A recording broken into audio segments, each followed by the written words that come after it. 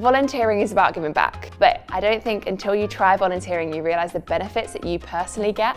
Mentally, it is such a rewarding experience. It's so important that you appreciate and support yourself, and giving back is a really good way of doing that in modern day society.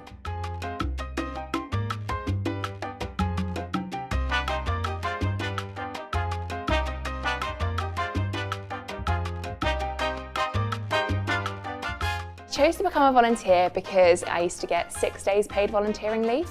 So I went onto the Newham website and then they've got kind of a volunteers portal that I logged into. It was really quick and easy to kind of get registered for. And then as soon as I had access to that, I then could browse and have a look at everything. And for me personally, the way I started was actually just by looking at a calendar functionality, just to see when I was free and see what kind of opportunities there were. I used to do Latin and ballroom dancing competitively for 20 years, um, so being able to support afternoon tea dance, be able to see the happiness that it brings, bringing elderly people together from the community and having a dance as well.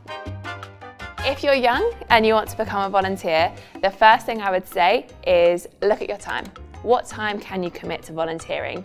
Secondly, sit down and think, what are you passionate about? And then thirdly, go and look for the opportunity. So look on things such as like the Newham website, the volunteers website, or look on charity websites. There are so many opportunities around and they might have a really exciting opportunity that they can bring you on board with.